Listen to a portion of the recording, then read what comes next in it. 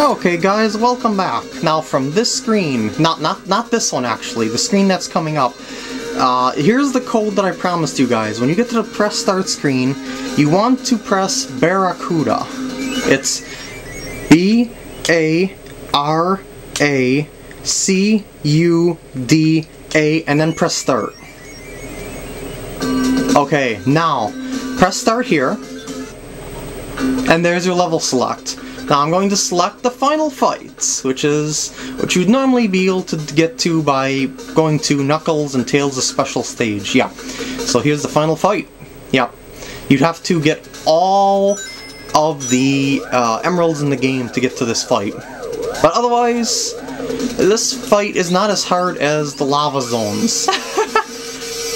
yeah, all it, all it does is, he, oops, he shoots some lasers, and that's it for this for this first phase. Whoops, and come on, give me it. Why did he not take a hit there? Well, whatever. That was kind of dumb on my part, but whatever. and I'm I'm just playing a, like an idiot now. Come on, get done firing your lasers, and there we go. Now he took a hit. Now he's gonna move to the next area, and let's follow him. And now this one, he shoots fire out. You know how to dodge the fire. It homes in on you, and he does it three times. Yeah. And on the third one, he jumps in while the fire is still being shot at you. Just like this, and then there you go. And the fire disappears on the third one because you hit him fast enough. Okay, and the next one is hand phase. These hands like to slam on top of you. Uh, just give them time, give them time. Like that, and now they're going to set themselves up. Oops, not quite yet, I guess. Uh, okay. Uh, when are they going to set themselves up? Come on, come on, come on, come on, come on, come on, come on. Okay, there we go. Now they're going to set themselves up. Okay, get ready, get ready, get ready. Now jump. Yeah, like that. Now he's going to appear in the center and hit him. Yep, that's it. And next phase. Whee! And this is the missile phase, if I'm not mistaken. Yep, so just run around in circles while he, while, while he bombards you with missiles. These aren't hard at all to dodge.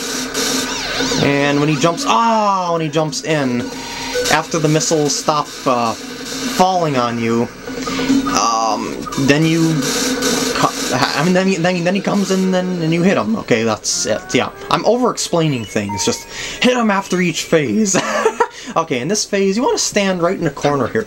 You are completely safe over here. Believe it or not. He can fire all he wants to, but you are completely safe. And just wait for him to pop in, just like this. And then hit him. And back to the start. And then we, we repeat the cycle just one more time. Yes, this is the start. As you can see by the rings. This is actually the easiest phase. I don't know why I was taking so many hits here in the laser phase. It made absolutely no sense to me. I'm firing my lasers from my fingers! And there it is. Okay, now since we will not be returning here, I'm just going to take the rest of the rings along with me. I would highly doubt that I'm going to be taking any more hits, honestly.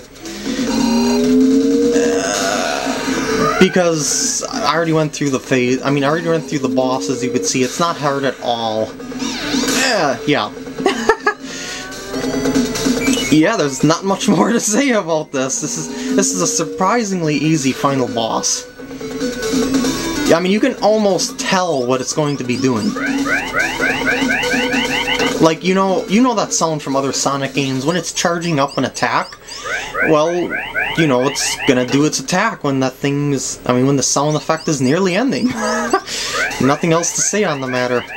This is an easy final boss, and after three phases on this fist one, it's gonna do a little charge, charge, and get ready to hit.